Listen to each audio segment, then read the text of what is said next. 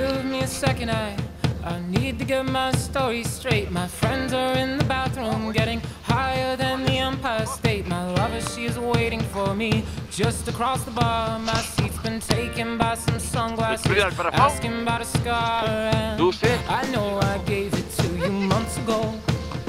I know to forget.